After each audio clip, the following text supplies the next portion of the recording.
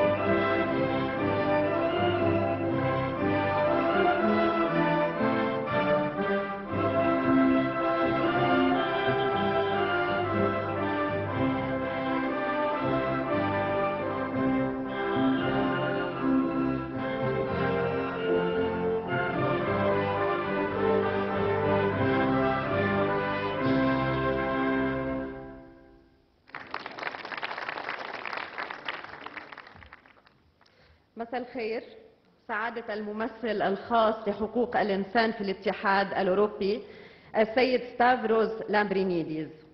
سعادة سفيرة أنجلينا إخهورست رئيسة بعثة الاتحاد الأوروبي في لبنان. أصحاب السعادة والمعالي الزميلات والزملاء الكرام. أهلا بكم في حفل تسليم جائزة سمير قصير لحرية الصحافة للعام 2014 للسنة التاسعة على التوالي يمنح الاتحاد الأوروبي هذه الجائزة تخليدا لذكرى الصحفي والمؤرخ سمير قصير ولقيم الحرية التي دافع عنها. فيوم بعد يوم تدفعنا الأحداث الإقليمية المتسارعة في العالم العربي إلى التمسك أكثر فأكثر بالحريات خصوصا حرية التعبير عن الرأي كعنوان أساسي للوصول إلى الديمقراطية المنشودة وإلى مبادئ حقوق الإنسان. وكما كل عام سيتم تقديم جائزة أفضل مقال رأي وأفضل مقال استقصائي بالإضافة إلى جائزة أفضل تقرير سمعي بصري التي استحدثت العام الماضي. لافت أنه الجائزة هذه الجائزة تحولت سريعا إلى حدث سنوي يستقطب عدد كبير من المرشحين من جميع الدول العربية تقريبا. بالإضافة إلى تثبيتها كمرجعية للصحفيين الشباب في نضالهم ودفاعهم عن الحريات. البداية مع كلمة راعي هذا الحفل الممثل الخاص لحقوق الإنسان في الاتحاد الأوروبي السيد ستافروس لامرينيديس فليتفضل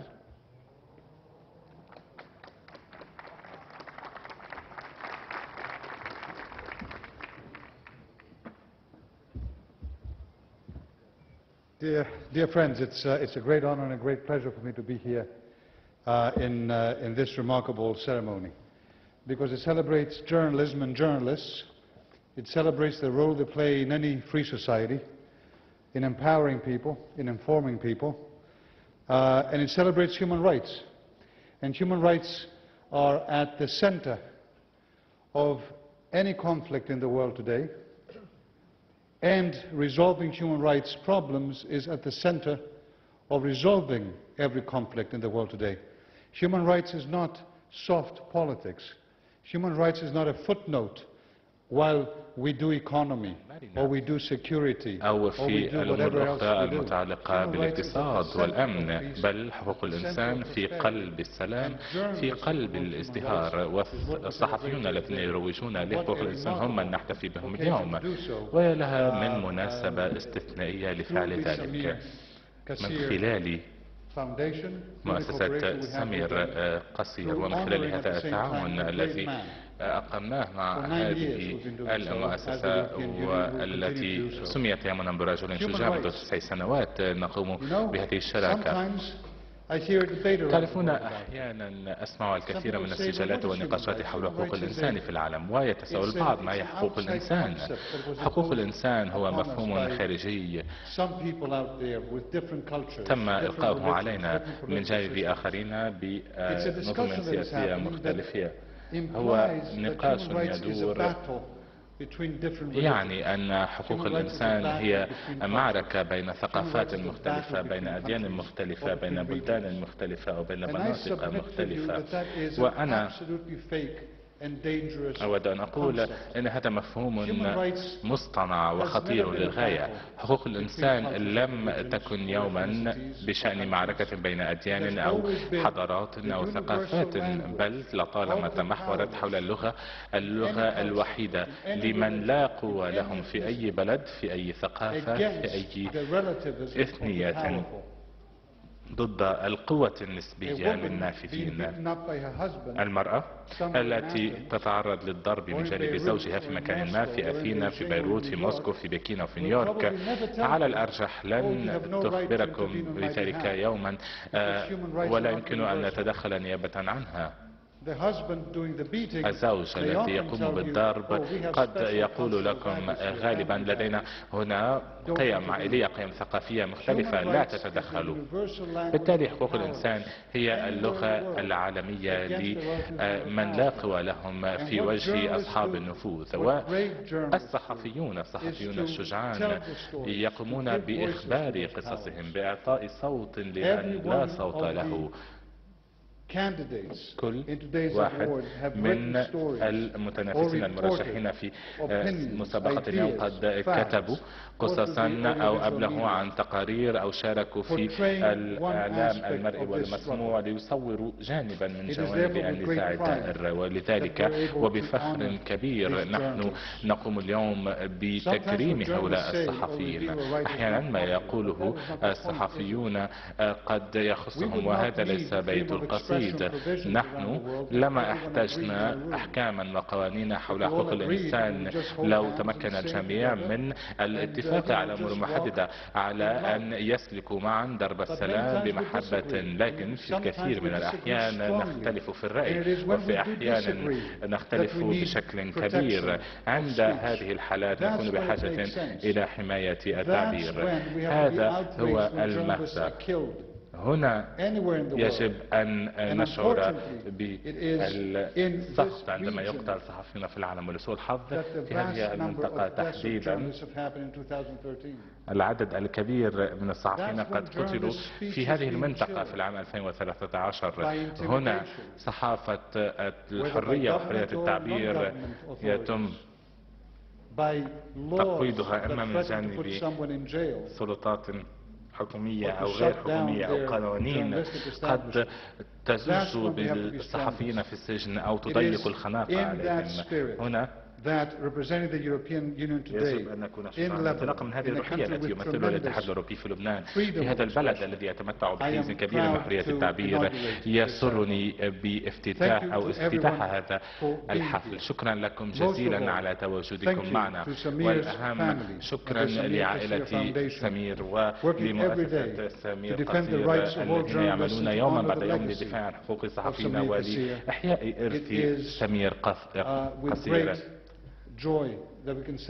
وأنا بفرح كبير أنضم إليكم للاحتفاء بالصحفيين الشجعان الجسورين الذين يشاركون في حفلنا اليوم وأنا فخور لأنني بينكم كذلك. شكرا. شكرا سيد ممريني يمنح الاتحاد الأوروبي جائزة سمير قصير كل سنة بالتعاون مع مؤسسة سمير قصير. وعلى رأس هذه المؤسسة الإعلامية الصديقة جيزال خوري. التي عرفت كيف تحول لحظات الحزن والغضب على اغتيال سمير قصير إلى لحظات من الجهد والعمل لصون الحريات الصحفية وحمايتها ودعم الصحفيين الشباب. جيزيل ستفتتح غدا باسم المؤسسة مهرجان ربيع بيروت على أن تستمر مؤسسة سمير قصير بدعم من الاتحاد الأوروبي بالدفاع عن حرية الإعلام والثقافة في المشرق العربي من خلال مركز سكايز الكلمة الآن للسيدة جيزيل خوري تفضلي.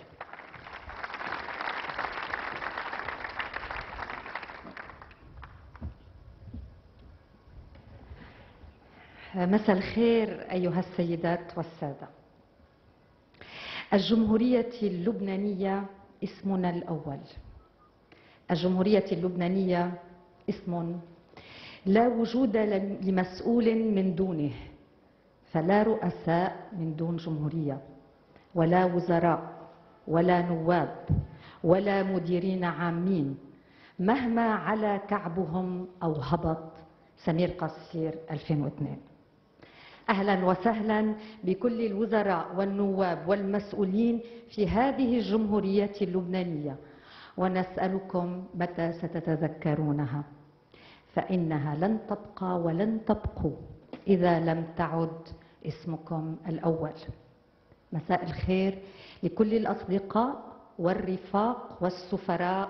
واسمحوا لي أن أرحب بالممثل الخاص لحقوق الإنسان في الاتحاد الأوروبي ستافروس لامبرينيدس الذي جاء خصيصا لمشاركتنا في هذا الاحتفال بجائزة سمير قصير السنوية ول 24 ساعة فقط. إن هذه الجائزة لها معنى خاصا هذه السنة. فقد وصل عدد المرشحين إلى 185 صحفيا أكثرهم من الشباب الذين لم تكن أعمارهم تتجاوز الخامسة عشر عند اغتيال سمير قبل تسع سنوات. فيا أيها القاتل سأردد ما قاله لك الياسخوري قبل تسع سنوات. إن اليوم قريب وإنك لم تنجح بقتل الكلمة والحرية إلا بقتلنا جميعا. لأن هذه الكلمات تصنع كتابها. والحياة تزهر في كل الحقول والمقابر تتحول إلى أسوار للحرية. سنعطي الوقت للوقت. هذه الجائزة تمنح في وقت يشهد فيه العالم العربي ولا سيما سوريا مقبرة حقيقية للصحفيين والمثقفين والنشطاء الأحرار. لهذا أطلب العمل بشكل جدي لإطلاق سراح كل الصحفيين المعتقلين والمخطوفين وأخص المصور اللبناني سمير كساب الذي يعمل مع سكاي نيوز العربية والصحافي الفلسطيني بشار فهمي القدومي المفقود منذ سنتين وهو يعمل في قناة الحرة. وأسأل أين قضية الأب باولو دالوليو؟ والتي غابت عن خطاب البابا خلال زيارته للشرق الأوسط. الأب باولو الذي رمم بيديه دير مرموسة القريب من دمشق. الأب, الأب باولو صاحب فكرة الكنيسة المسيحية الإسلامية. ونحن ننتظر رزان زيتون ورفاقها رموز الأحرار في سوريا. نحن ننتظر إطلاق سراح ثلاثين صحفيا سوريا وثمانية صحفيين دوليين إن من مغاور الميليشيات المتطرفة أو من أقبية المخابرات. الصحفيون في العالم العربي هم في مواجهة القوى الإسلامية المحافظة ومواجهة المؤسسة العسكرية ذات النفوذ المتنامي. على صعيد آخر ستعمل مؤسسة سمير قصير ومركزها سكايز لتقديم قانون تمنع بموجبه الرقابة على الأعمال الفنية وسيساعدنا الأمن العام على ذلك. وهنا اسمحوا لي أن أشكر الاتحاد الأوروبي والصديقة السفيرة أنجينيلا إيكهورس على دعم مركز سكايز والذي أصبح المرجع الأساسي في المنطقة لرصد الانتهاكات الممارسة ضد حريات التعبير. وهنا أيضا اسمحوا لي أن أحيي كل العاملين في المركز بإدارة أيمن مهنا. وداد ندى جيهان ريما جوزيف فراس عبد الله جابر مروان وكل مراسلين في المشرق العربي الله يحميكم. شكر وإعجاب بكل من عمل أو ساهم بتنظيم الجائزة وعلى رأسهم نيل عبد النور ومن اهتم ماريا سانشيز بالترويج والإعلان سعيد فرانسيس أديب بصبوس ورنا خوري. كتب سمير قصير يجب استشراف حركة ممهدة على طريق تنشيد دينامية زواج الأفكار رواج الأفكار والثروات الثقافية في العالم العربي. وكان هذا منطلقنا الأساسي. فكان مهرجان ربيع بيروت وأدعوكم إلى المشاركة فيه ابتداء من الغد. نحن بانتظاركم. وهنا دعوني أشكر أيضا مديرة المهرجان الممثلة والصديقة رندا الأسمر ومساعدتها الممثلة نجوى القندقشي وكل من ساهم ويساهم في إنجاح هذا المهرجان من رجال أعمال وفنانين ومعلنين ساتشير الفنسن ألين كرام والكل. فلتنطلق ساحات ومسارح بيروت لنتذكر سمير قصير بالفرح والأمل والحرية إلى اللقاء. شكرا للجنة بعدين شكرا جيزيل خوري. لجنة تحكيم الجائزة تتغير كل سنة وتضم خبرات عالمية في مجال الصحافة المكتوبة المرئية والمسموعة. وتقيم اللجنة المقالات والتقارير من دون الاطلاع على اسم المشترك أو جنسيته أو عمره أو وسيلة الإعلام التي نشرت أو بثت عمله. نرحب بلجنة التحكيم هذه السنة والمؤلفة بحسب الترتيب الأبجدي. سناء العاجي صحفية وكاتبة من المغرب. عملت في عدة مؤسسات إعلامية في أوروبا والمغرب باللغتين الفرنسية والعربية. وهي مقدمة برنامج ضيف الأسبوع على قناة نسمة المغربية. غيث عبد الأحد صحفي عراقي. مراسل صحيفة The Guardian البريطانية في الشرق الأوسط. غطى النزاعات في العراق وسوريا ونال جوائز عالمية كبيرة آخرها جائزة أورويل للصحافة في 21 أيار الماضي. كريستوف رويتر كاتب وصحفي ألماني مدير مكتب الشرق الأوسط في مجلة دير شبيغل الألمانية. وهو صحفي متمرس في تغطية النزاعات وانتهاكات حقوق الإنسان والشؤون الاجتماعية والثقافية. ليلى الراعي إعلامية مصرية انتقلت بعد خبرة طويلة في العمل الإذاعي لتصبح مسؤول لا لا منا معنا؟ لتصبح مسؤولة صفحة القضايا الفكرية في جريدة الأهرام لأسباب طارئة لم تتمكن من الحضور إلى بيروت اليوم. أكيد بنوجه لها تحية للسيدة ليلى. مارك سيكلي مدير قناة فرانس 24 الفرنسية العالمية منذ العام 2012 صحفي لبناني فرنسي وساهم في تطوير قناة فرانس 24 وتعزيز حضورها حول العالم لا سيما في الدول العربية. مارك مارغينيداس مراسل الشؤون الدولية في صحيفة البيريوديكو الإسبانية. متخصص في تغطية الحروب والنزاعات وواجه أخطر التحديات واستمر في مسيرته المهنية. فاز يوم أمس بجائزة سيريلو رودريغيز وهي أهم جائزة صحفية في إسبانيا. هند درويش ممثلة مؤسسة سمير قصير في لجنة التحكيم وعضو مجلس إدارة المؤسسة. مديرة دار نشر L'Orient des Livres وناشرة ملحق L'Orient Littéraire الشهري الصادر عن صحيفة L'Orient-Le Jour اللبنانية. والآن جمهور الكريم اللحظة اللي كلنا ناطرينا تقديم جائزة سمير قصير لحرية الصحافة عن فئة مقال الرأي نتابع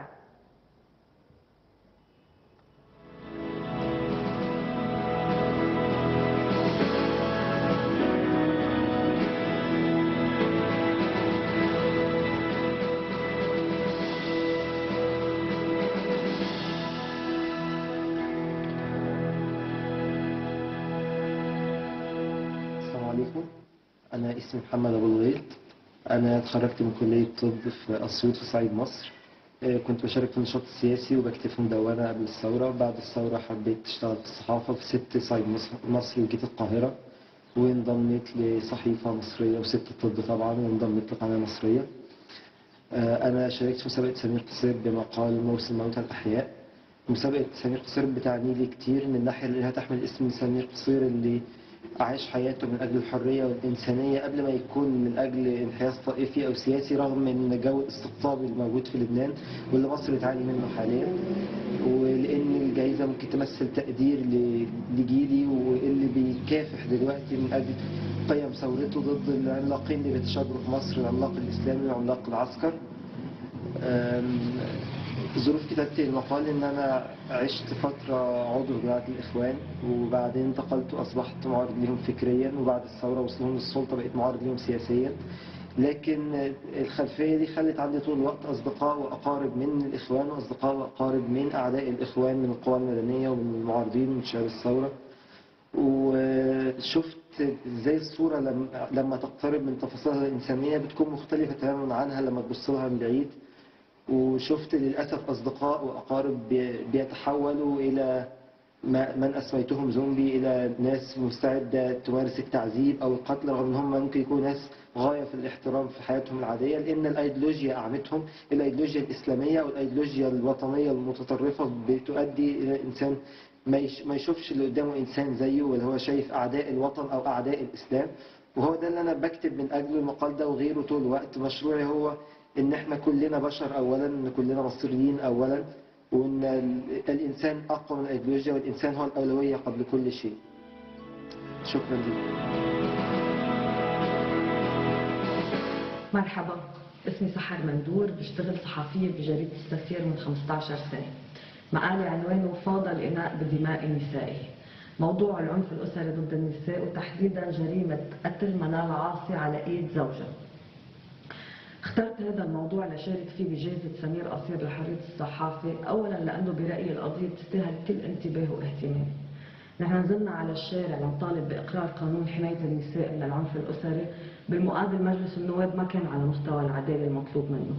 هذه المقالة مثل جزء كبير من شغلي بالصحافة أنا بلاقيهم مساهمة بهيدي الحملة لحماية النساء بالعنف. اسمي رينا زيد لاجئة فلسطينية ولاجئة سورية. ولدت في دمشق. وما طلعت منها كثير مثل أي فلسطيني سوري. رفضت أتخلى عن جنسيتي الفلسطينية مقابل الحصول على الجنسية السورية من زوجي. لأنه ضابط الأمن قال لي آه ما بترجع لك جنسيتك الفلسطينية إلا في حالة طلقتي أو موتي. هو ما راح يقدر يفهم أبدا إنه أنا فلسطينية سورية مقال أخي السوري عن شخص آه حقيقي مش أسطورة. هو طلع تهريب آه من دمشق. هرب من الاعتقال. بعدين طلع هربان من السكوت يلي كان ينزل بحلب. بأكثر من ثلاث شهور آه، برحلة تهريب بحرية عم يتحدى الموت والخوف والحدود ليقدر يوصل لهولندا. شاركت في جائزة سمير القصير لأني كنت أحس حالي مراقبة وقت بدي أوصل لتمثاله اللي جن بجريدة النهار ببيروت لأني لسه بخاف وبخاف انقتل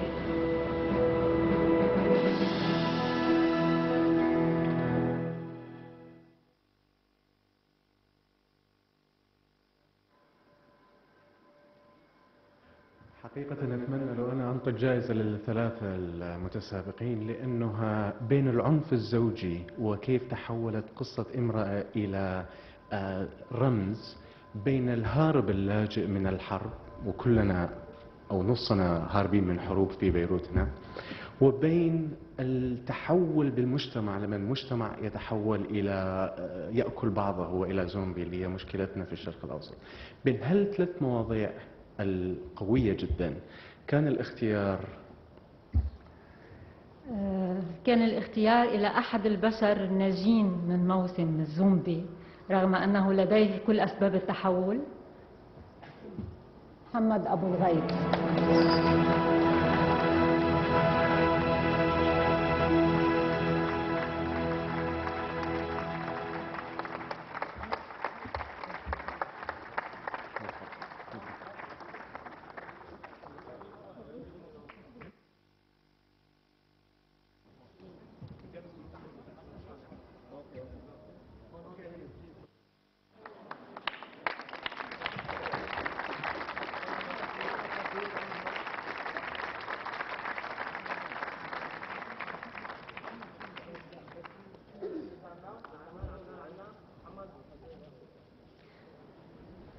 شكرا لهند ولغيث وألف مبروك ألف مبروك محمد أبو الغيث.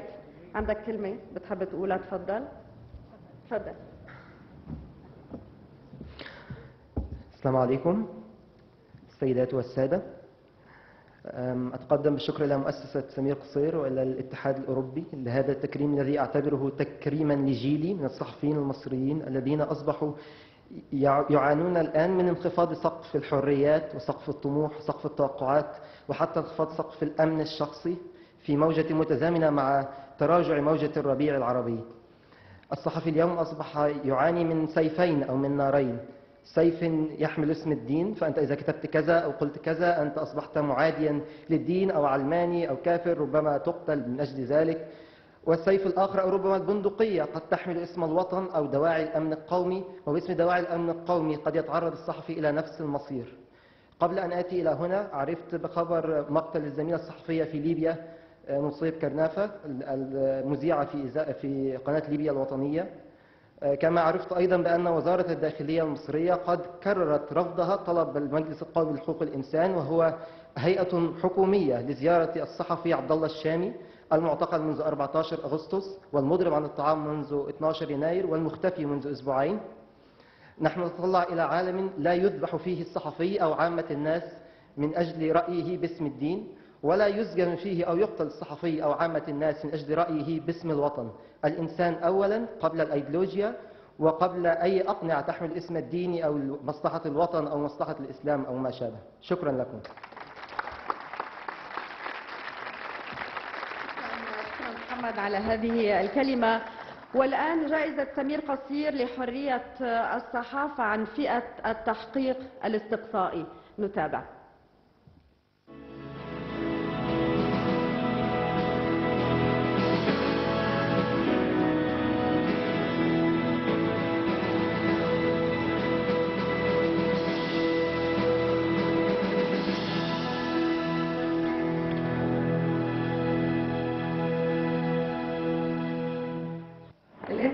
منار عطية صحفية في جريدة الأهرام إيدو بشتغل فيها بقالي 18 سنة.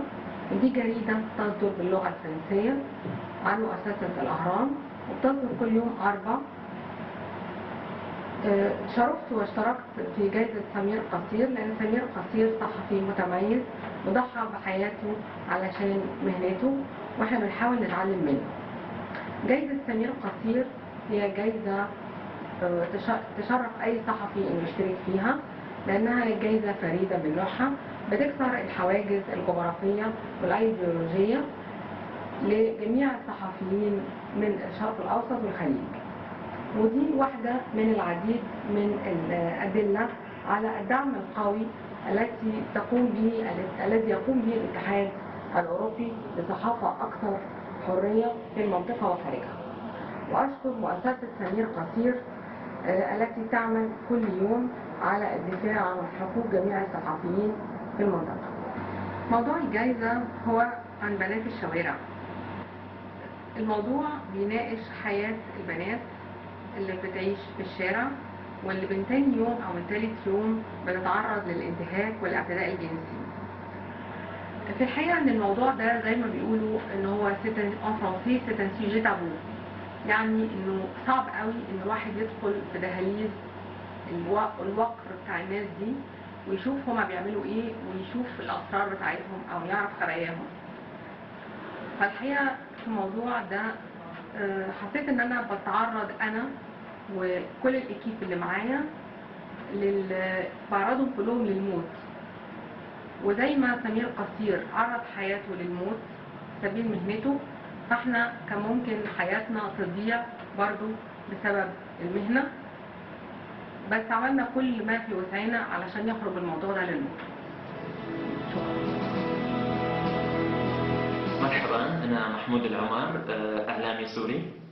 قمت بإعداد تحقيقي حول مافيات بيع وتجارة الأعضاء في سوريا لأنقل بعض مما يعاني منه السوريون.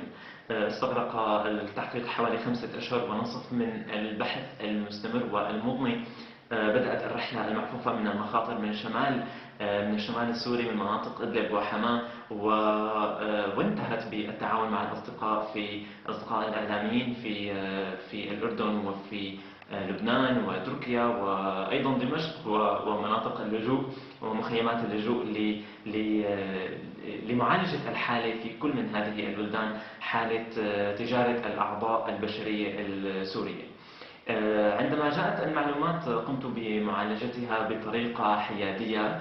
آه، أجريت اتصالات حتى مع آه، مع أشخاص يعملون آه، مع النظام السوري. آه، هذه الاتصالات من أجل ال- الحصول على المعلومات ولكن كالعادة لم نتلقى رد أي رد وأي تصريح حول الأمر مما زاد الاتهام آه، أكثر لوجود آه، مافيتين اثنتين يعني تعمل تحت غطاء من النظام السوري والمافيتين الأخريتين. كانت آه، هم رؤوس أموال يعني أصحاب رؤوس أموال يقومون ببيع وتجارة الأعضاء السورية.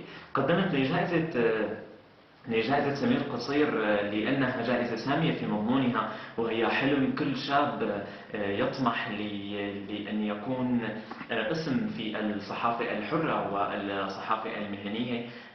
قرأت المواد التي نجحت في الأعوام السابقة من من من الجائزة وفعلا شعرت بأن بأني أتحدى نفسي في هذا التحقيق. هل سوف أكون من الأشخاص الذين ينجحون يعني في في هذه الجائزة و و واكون في مصاف الإعلاميين ال- المحترفين. آه، هذا ما سوف اعلمه وسوف تكون دفعة معنوية لي وأيضا مادية لتعزيز الأفكار الإعلامية التي آه، أؤمن بها. شكرا لكم. أنا اسمي صفاء صالح صحفية في جريدة المصري اليوم. اليومية المصرية بقسم التحقيقات الاستقصائية بها.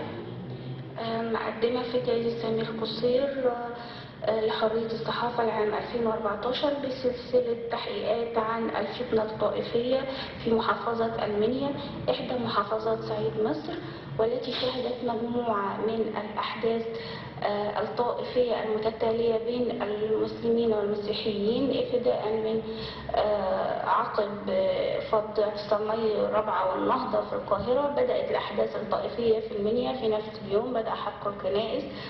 وحتى نهاية عام 2013 في ديسمبر 2013 ما زالت الحوادث مستمرة إذ شهدت هذه المحافظة أكبر عدد من الكنائس المحترقة وأكبر عدد من الأحداث الطائفية التي راح ضحيتها آه، آه، ضحايا من وقتلى من الجانبين آه، سواء كان السبب سياسي حيث ترى الجماعات المتطرفة في المنيا أن المسيحيين كانوا سببا في زوال حكم نظام الإخوان المسلمين بسبب خروجهم آه، بأعداد كبيرة في مظاهرات 30 يونيو. آه، ولا يقتصر السبب على أسباب سياسية فقط وإنما أي سبب تافه يحدث آه، سواء كان خلاف على قطعة أرض أو آه، قصة حب تنشأ بين شاب وفتاة ليسوا من ديانة واحدة. تنتهي ينتهي كل هذا بحرق جميع منازل القرية من المسيحيين وقتلا من الطرفين. آه، فقد كانت هذه المحافظة ظاهرة تستحق الدراسة وما زالت إلى الآن ظاهرة تستحق الدراسة. أنا حنان سبيس صحفية تونسية أشتغل في مهنة الصحافة منذ 12 سنة. آه، بدأت كصحفية اقتصادية ثم تحولت إلى آه، الصحافة السياسية. بعد الثورة آه، بدأت أتحسس طريقي نحو الصحافة الاستقصائية عبر القيام بعديد ال- التحقيقات بما أنه أصبح المجال في تونس يسمح بقيام بتحقيقات استقصائية. هذا التحقيق الذي أشارك به في آه، جائزة سمير قصير وهو تحقيق عن آه، رياض الأطفال القرآنية في تونس. هو ثاني تحقيق أقوم به. تحقيق آه، استغرق مني سنة كاملة من العمل وحاولت تسليط الضوء فيه على ظاهرة جديدة ظهرت بعد الثورة في تونس وهي رياض أطفال قرآنية تنشئها آه، آه، إسلامية آه، هي رياضة آه، غير قانونية. آه، لا تحترم آه، آه، المنهج المعتمد من قبل الدولة. آه، تقوم بدمغجة عقول أطفال عمرهم بين ثلاثة وخمس سنوات آه، عبر آه، تربية مكثفة لا تتلائم مع أعمارهم وتربية آه، ممنهجة. آه، عملي آه، كان آه، يقتضي مني الدخول إلى هذه الفضائيات التي كانت مغلقة تماما بالنسبة للصحافة مما اضطرني إلى انتحال آه، صفتي آه، آه، مربية أطفال حتى أستطيع معرفة ما يحصل داخلها. آه، هذا العمل أرجو أن آه، أشارك به آه، وأن يتحصل على جائزة سمير قصير. هذه الجائزة الكبيرة آه، في حجمها لأنها تخلد ذكرى رجل آه، آه، صحفي كبير آه، خلد اسمه ودافع عن حرية الصحافة في الوطن العربي وهو شرف لي ولكل صحفي عربي آه، أن يحصل على هذه الجائزة.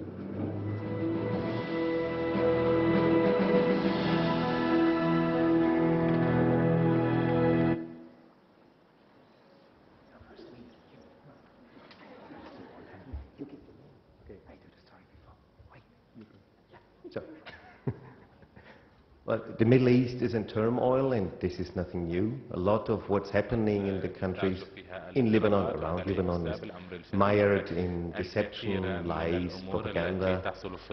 But the difference is, obviously, public opinion, journalism can have an impact today, other than under the everlasting Mubarak, Ben Ali, So investigative journalism can have an impact today as well, and other than التقارير it is الاستقصائية التحقيقية يمكنها أن تؤثر اليوم ومن الممكن. اليوم أن يقدم Um, الصحفي أكثر من تقرير وتحقيق بدون أن ينتهي به الأمر في السجن بالتالي عندما نسمع بأمر التقارير الاستقصائية ربما عدنا نفكر بمواضيع. مثل آه، تهريب البشر المخدرات أو الأسلحة لكن قد تكون المواضيع مثلا الاضطرابات broad الاجتماعية والتي confessional ideological groups تعتمد which can على harm society as الاضطرابات well. الطائفية التي So, يمكنها أن after تؤذي long discussion المجتمع yesterday, كذلك. وبالتالي we بعد choose نقاش a مطول rather البارحة لقد اخترنا unusual topic موضوعا or piece on an unusual استثنائيا topic بعض الشيء. and the most meticulously أو تقريرا researched استثنائي. piece. وربما هو التقرير الذي قام بأفضل بحث كان. حنين سبيس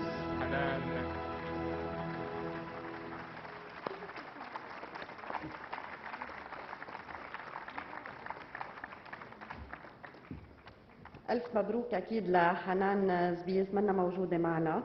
رح تتزوج اليوم. بنقلها بنقلها ألف ألف ألف مبروك. بفتكر رح نسمع منها كلمة لحنان. أنا سعيدة جدا بتلقي جائزة سمير قصير. أشكر شكرا جزيلا لجنة التحكيم لأنها أعطتني هذه الجائزة وقدرت عملي. هذا شرف كبير لي. كنت أود أن أكون بينكم في هذا الحفل ولكن هو يتوافق مع تاريخ زواجي. شكرا مرة أخرى لتقديركم لهذا العمل. شكرا شكرا لكم لتشجيعكم للصحفيين في الوطن العربي وللصحافة الاستقصائية وشكرا لكم لأنكم جعلتم فرحتي فرحتين. هذا شرف كبير لكل صحفي أن يحصل على هذه الجائزة لأنها تحمل اسم رجل عظيم قدم كثيرا للصحافة. ونحن أيضا من مواقعنا كصحفيين عرب نحاول أن نقدم شيئا ما لهذه المهنة. عاشت الصحافة عاشت حرية الأعلام حنان وألف مبروك على الجائزة والزواج أيضا. والآن الجمهور الكريم جائزة سمير قصير لحرية الصحافة عن فئة التقرير السمعي البصري. نتابع.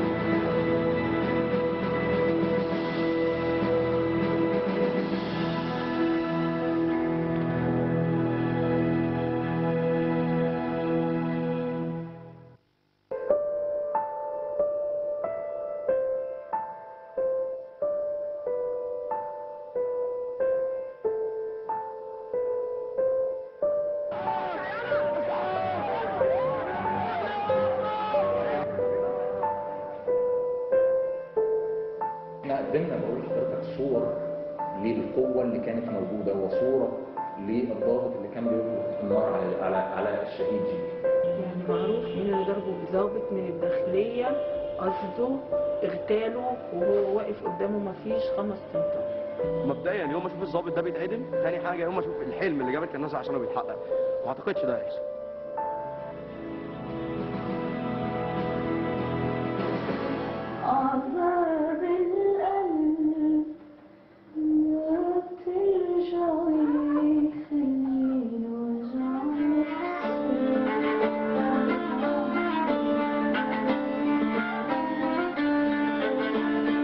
كانت أول مرة بنزل فيها يعني. بتكون. بيكون الشارع هو صار ساحة.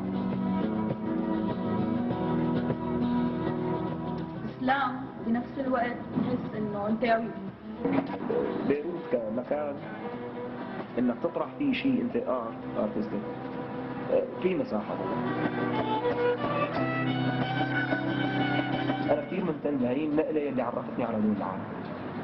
في أحمل سلاح وحارب. بفضل امسك كمان أفكر بالموسيقى تكون سلاح لأنه شيء إيجابي يعني. ما منه شيء سلبي يعني.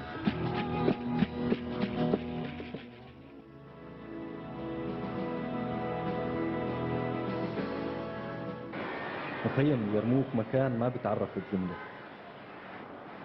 ولا بينوصف بقصيدة أو رواية. بس فينا نقول إنه تكثيف لحالة المنفى. أو حرب نجار فلسطين بسوريا والقدس بالشام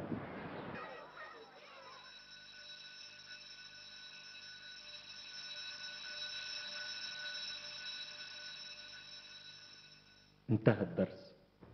كنت واقف على شارع اليرموك قريب من مستشفى فايز حلاوي لما الميج زارت مدرستي الإعدادية. كان اسمها الكرمل.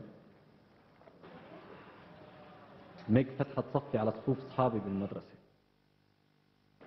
المخيم هو المكان الوحيد عمليا يلي بيربطني بالكرمل في حدا حاول يقطع الرابط مستخدما الميج. صعب كثير اقتنع إنه الميج اللي شفتها عم تقصف المخيم بعيني كانت عم بتدافع عن فلسطين وقضيتها بأي حال من الأحوال.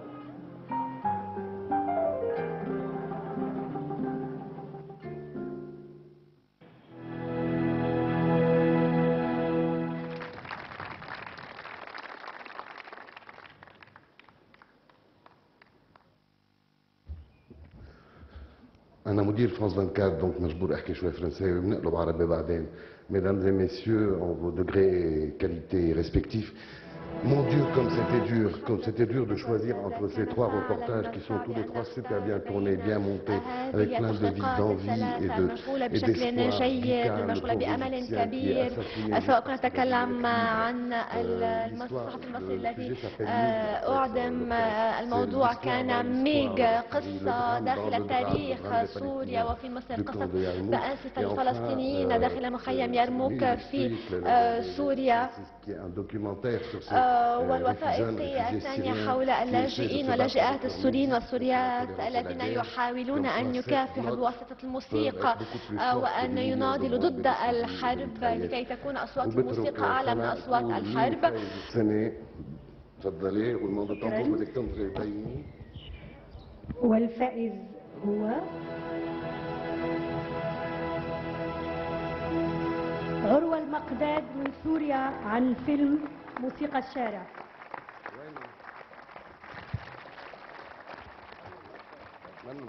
عروة من هون؟ وينهم؟ آه. عروة جاي؟ بدي زيد شيء أنا عروة ما بنعرف بعضنا وهيك ومع إذن مع البرودكتور واذنك أنا بتمنى إنه نحن نبث هالبرنامج هالفيلم ال documentaire على فرانس 24 بالأيام الاتيه مبروك